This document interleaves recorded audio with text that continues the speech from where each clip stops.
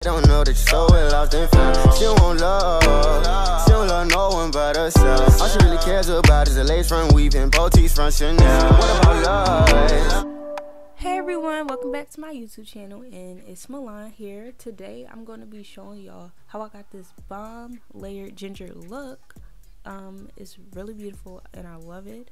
And also make sure you guys go follow my Instagram. I got a lot of cute cool looks on there that y'all gonna love. So you know, follow my Instagram. And without further ado, let's get into the video. Yeah, so right now I was trying to make the part. I was trying to get everything really straight. I already laid down my lace and everything. You can still kind of see some of the um glue, but I'll clean that up after like when the video is all over. But yeah, I'm trying to make my part. I could have put some concealer in there, but I decided not to and now what I'm doing is before I straighten it I just want to get all the roots together and I want to get them um, really as flat as possible you know? I like when the roots are like flat down to my head. I don't like when it's like poofy at the top. So I was doing that first because I know I wasn't going to be able to get it with my flat iron because it's really big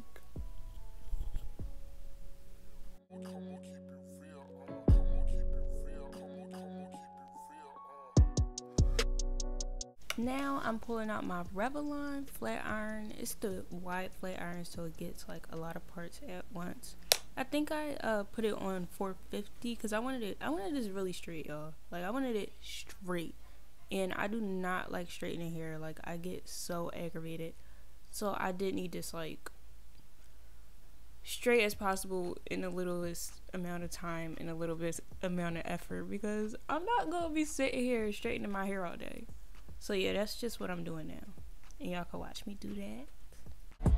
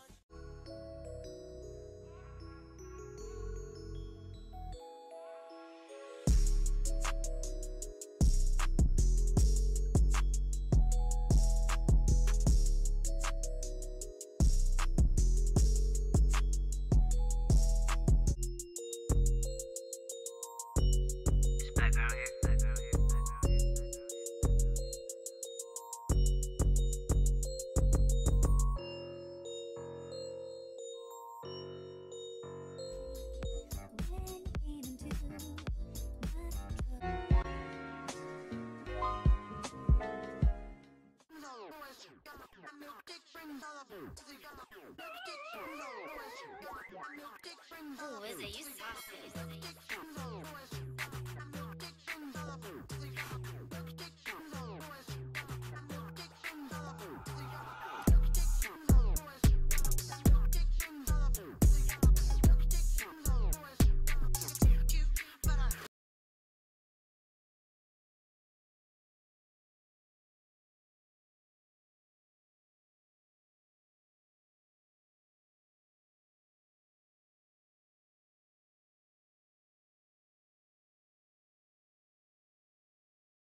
catch you having fun.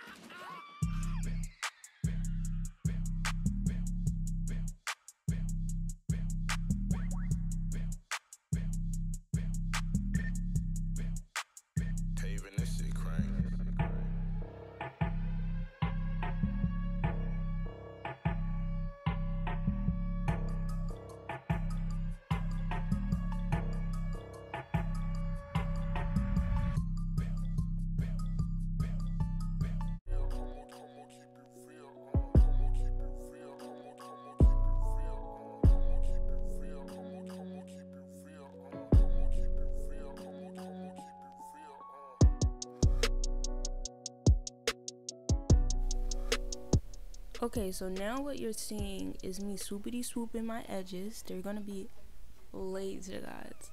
Actually, it's really hard for me to do edges because I don't usually do edges on my my wigs, but I decided to do edges this time because you know it's trendy and it's cute. but I did very minimal edges because I do not know why I'm doing that much with edges. So I just put plopped two edges on the side of my head and I just molded it with the Got2b Glued mousse and that really did work and I also used some other gel. I forgot what the name of it is but I put it up in my um video.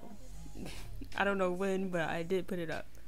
Uh yeah, so after I do my edges I'm just probably I'm pretty sure I hot combed the the top part of my hair again and then I put the mousse on the top part of my hair so it can be as flat as possible.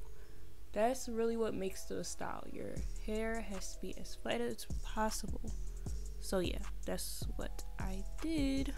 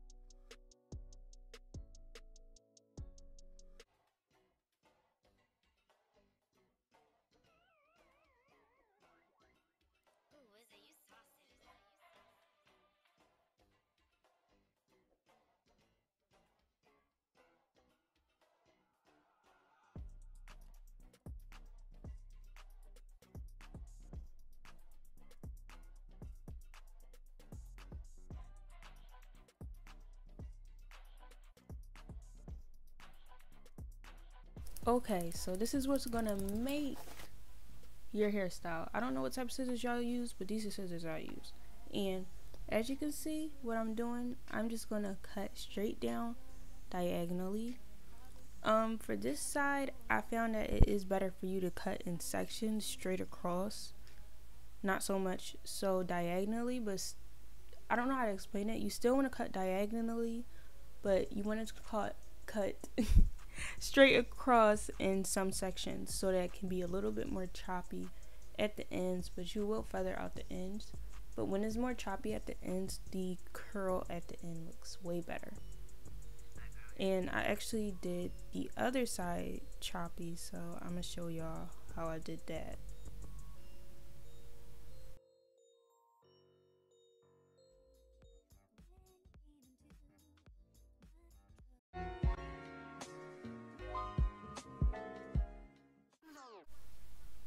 Okay, so this is the other side that turned out a little bit better when I um curled it. Now, I cut it up upwards, and when I was cutting it, I actually thought that this side was going to be the worst side, but the other side ended up being my problem side. So I cut it up diagonally, but like upward, and I still feathered it, feathered it out a little bit more.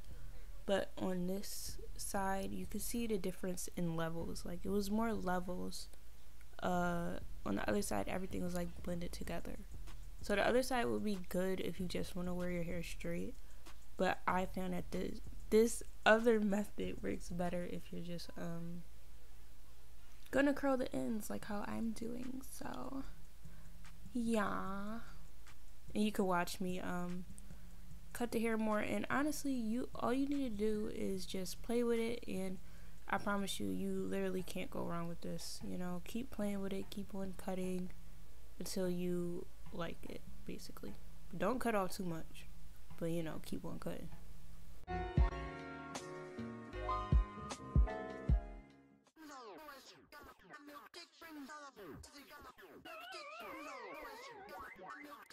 Who Okay, so now you can see me curling the hair. I'm gonna let y'all watch me curl the hair, but what I'm doing is just bumping the hair towards me, and then um, I'm letting the curls cool down before I brush them out.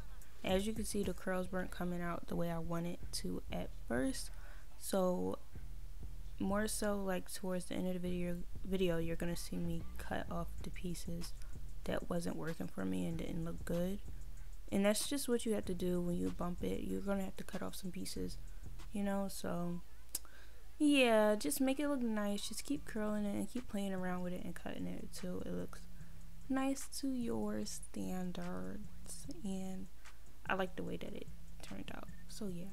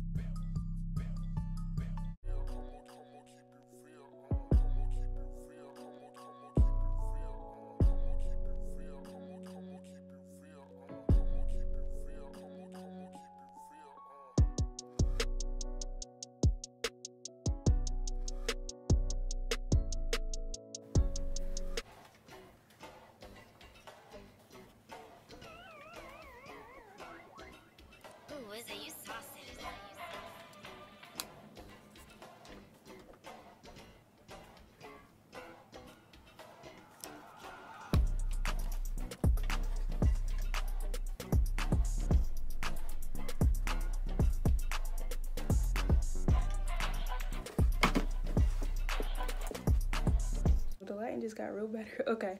So yeah, guys, this is gonna be the final look. It looks really 90s, very cute, beautiful. This is the end of my video. If you like it, if you liked it, like, comment, and subscribe. Uh, thank you for watching, and see y'all next time. I'ma call it how you are. You was flawless from the start. You think I'm